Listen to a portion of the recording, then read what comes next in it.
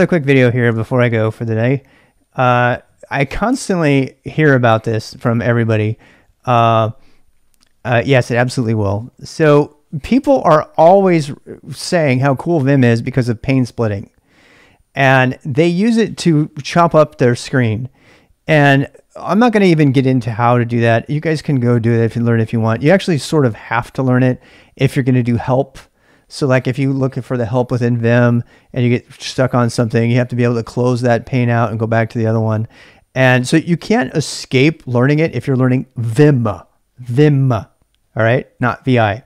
So there's a number of reasons not to learn pane splitting. In fact, you don't ever need to learn pane splitting. I can't remember how to do it. I never use it. I haven't used it in 25, 30 years. And it's not because I'm an old guy. Let me tell you why. It's not practical. When you split using Vim, you are tied to using Vim for your screen management. And that is not what Vim is for. Vim is not meant to manage your panes, to manage your screens. What is? Tmux, screen. There's a number of other utilities that are already designed to manage your screen real estate for you, and they work anywhere. They work anywhere, they work on everything. They split the screen, and they have methods for copying and pasting between two different applications, not to mention between an applic- uh, a Vim editing session and your command line. I use this constantly instead of my mouse when you don't have a mouse. So getting good with Tmux is far more important than learning how to split the pane with Vim. In fact, I would strongly encourage you to never learn how to do it because you don't need it. And I'm going to demonstrate. So, uh, uh, so for example, uh, another thing too is that, and I agree with Primeagen on this particular point. I I find myself using panes using uh, using uh, splitting less and less these days and using window splitting, which is a, a separate video about screen and, and Tmux that we'll do. But assuming you know what those things are, then you already know what can be done there. So let's say uh, I'm to do links like uh, I want to look up something. I'm gonna like say, uh, how do I do hello world in shell? And I'm to go look on the internet and I'm to go say, here it is. Uh, let's go look at it, right? So, so how do I do hello world in shell? I'm looking down for some code. Uh, it's probably not to show me because it's so stinking easy. I'm just trying to make a point here. it's not even going to be here, is it? Yeah, I mean, so I'm trying to, what, what, what would we want to copy over from here? Uh, so, okay, so there we go. There, here's some right here.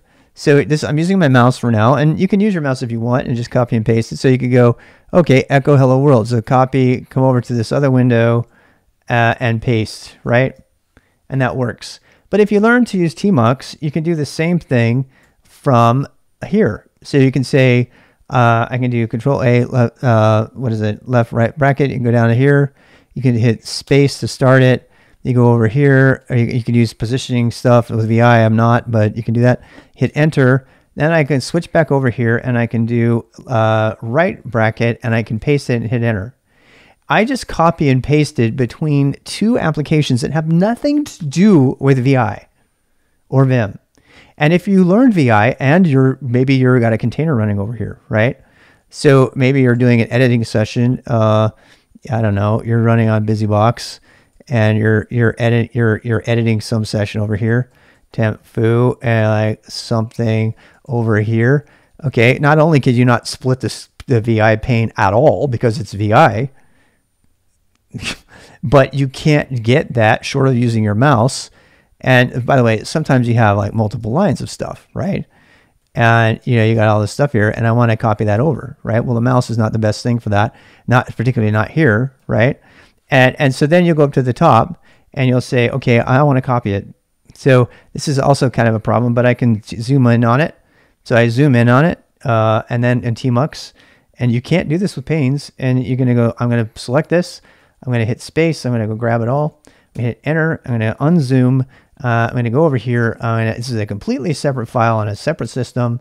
And I'm going to go paste it. And don't forget to uh, insert paste, which we'll talk about some other day and now I can control A, bam, and now I've got it pasted there. I hadn't even touched my mouse. My fingers haven't even left home row.